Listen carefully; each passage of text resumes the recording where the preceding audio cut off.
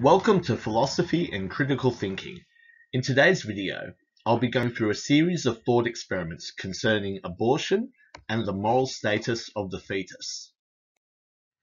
Given the context of these thought experiments, I will issue a short trigger warning that these uh, thought experiments will cover topics such as miscarriage, infant mortality, and abortion. So clearly, these topics can be quite distressing to some people. So this is just a uh, warning in advance. Before going into the thought experiments, I'm going to give some background knowledge on the typical views on the moral status of the fetus. Uh, these three typical views were explained by Rosalind Hursthouse. Um, just uh, before that, the moral status of the fetus just means um, what kind of um, moral value do we apply to a uh, fetus in the womb? Um, in contrast to other moral statuses we hold to other things, such as animals and human beings and the environment, all those kinds of things. So this is what the uh, three typical views on the moral status of the fetus are. The first one is the conservative view. The conservative view says that the fetus in the womb has the same value, same moral status as an adult human being from the moment of conception. Once the fetus has been conceived in the womb, it, it shares the same uh, moral standing as any other adult human being. The second view is the extreme liberal view. The extreme liberal view is that the that the moral status of the fetus is the same as any other part of the woman's body until birth. By birth is saying like you know once the umbilical cord has been cut and the um you know the, the baby is no longer a part of the woman's body. So as long as the fetus remains a part of the woman's body, then the moral value or the moral status of the fetus should be seen as and as um, equal to any other part of the woman's body. So that's the extreme liberal view. The third view is the mixed strategy. The mixed strategy is that at the moment of conception, right when the fetus has been conceived, it holds the same uh, moral status as any other part of the woman's body. But when it's right before it's about to be born, so right until um, the pregnancy is due, um, the the moral status of the fetus is the same as any other adult human being. So at the end of the pre- towards the end of the pregnancy, the fetus holds the same moral status as a adult human being, but at the beginning of the pregnancy, it holds the same moral status as any other part of the woman's body. Rosalind Hursthouse puts forward this thought experiment. A madman has stolen a vial containing a conceived embryo of a human being, intended to be placed into a woman for a pregnancy. The madman has also kidnapped a newborn baby.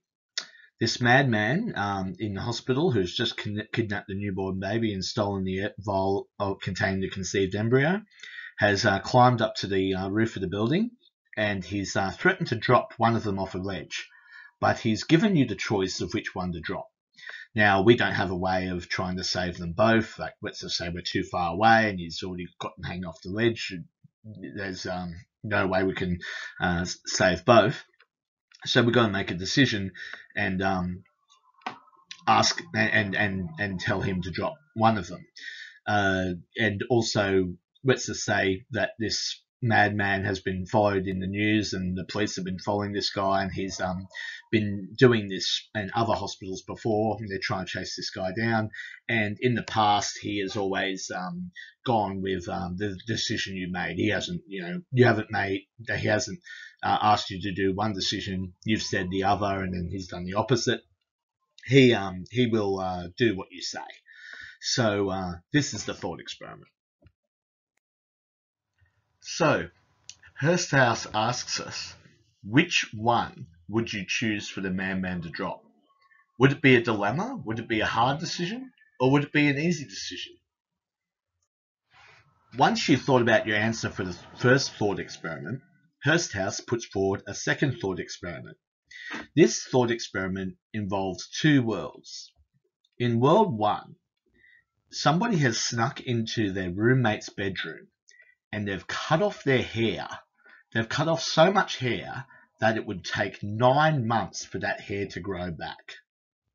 In world two, a person has snuck into their roommate's bedroom who is recently pregnant and administered medication that induces a miscarriage. Hursthouse asks us, are the offences committed in each world equally as wrong as each other, or is one more wrong than the other? Is what the person did in World 1 worse than World 2? Or is the person what did the person do in World 2 worse than World 1? Or are the offences in World 1 and World 2 equally the same? Have a think about the answer to this question. On to Hursthouse's third thought experiment. A baby has just been delivered, but is still attached to the umbilical cord and placenta, which is still attached to the mother, thus is still part of the mother's body. Hursthouse asks us, does the mother have the right to have it killed? Now, reflect on the answers you gave on those previous three thought experiments. How did you answer, and have a think about what your reasons were for answering each of those thought the questions to those thought experiments. Once you thought about that, uh, did your answer um, inform you on whether you are more likely hold the conservative view the extreme liberal view, or the mixed strategy? Or did the thought experiments have no effect on your view? Moving on to another part of the discussions around the morality and ethics surrounding abortion. Typically, you'll hear terms such as uh, pro pro life versus pro choice. In the context here, sometimes you'll have philosophers or just people in general will make defenses or arguments for abortion, even when they'll concede that the um, fetus is morally the same as an adult human being. So they'll even they'll either um, accept the conservative view or they'll just, um, you know, for the sake of argument, just concede that even though they might be a bit skeptical about that, they'll say, look, I'll even give that to you, but I can make arguments defending abortion even if we make that concession. Sometimes you'll hear different versions of defenses of abortion based on particular reasons.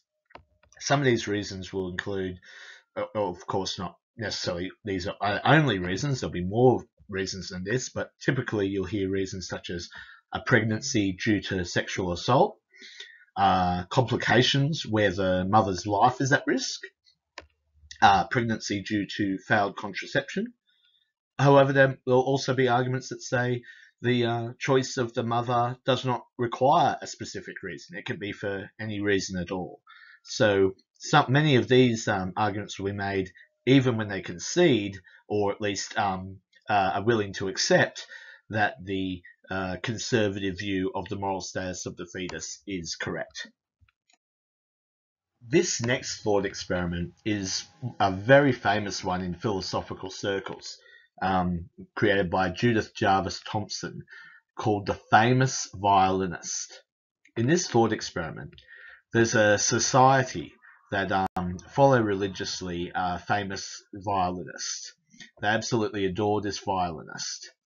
But this famous violinist has a very rare disease and will require use of your body for nine months in order to be cured of this disease and be able to um, uh, survive thereafter. What has happened is the members of this uh, society that follow this violinist have kidnapped you in your sleep and have connected you intravenously to the famous violinist. Now, the famous violinist has been unaware of this, has, has undergone. Um, they um, they weren't aware of it either. So whilst you were both asleep, they've kidnapped you, put you in a room next to the famous violinist, and intravenously connected you um, to the famous violinist. Now, what's happened here is you've woken up and the doctor has come up and said, you know, yep, so this is all what's happened here. Um, but now that you're connected, um, if you do disconnect yourself, then the um, famous violinist will die. It's um, you know it's guaranteed to happen. It's set up in such a way that now that we've got this uh, procedure underway, you must remain connected to this famous violinist for the next nine months, or the famous violinist is going to die. The question Judith Jarvis Thomson asks us is Are you morally entitled to unplug yourself from the famous violinist?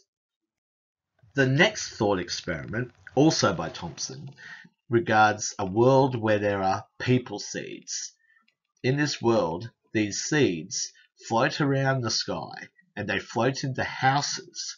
When they float into the house, they embed themselves into the carpet and then they'll grow into people. They need to stay in the house in order to survive. That's the environment they need to be in. So you are aware of this and you own your house, but you don't you don't want any of these people seeds getting in. You don't want the responsibility of dealing with um, a person that grows from these people seeds. So you set up on all your windows this mesh to stop the people seeds getting in. However, the mesh on one of the windows is defective and one of the people seeds flows through, embeds itself into your carpet, and the people seed has grown into a person in your house, and it depends on being in your house in order to survive. The question Thomson asks us here is Are you allowed to remove this person from your house, even though they won't survive? Now it's time to reflect on those last two thought experiments how did you answer those, and why did you answer that way? Um, and also, similar to before, did your answers impact on your views regarding specific reasons for having an abortion? Um, did you think the uh, thought experiments um, were analogous or similar to certain reasons for having an abortion? Um, or did the thought experiments, experiments have no effect on your views regarding specific reasons for having an abortion? If you want more thought experiments or more information or more of these videos, uh, you can go onto the website on www.philosophycriticalthinking.com. Uh, on that website, there's a tutorial on arguments from analogy and thought experiments that can be helpful in analyzing uh, some of these thought experiments. Um, also, a highly recommended book, Introduction to Philosophical Methods by Chris Daly, which will be in the description below. And um, Please subscribe and click the bell if you want more videos. Thanks.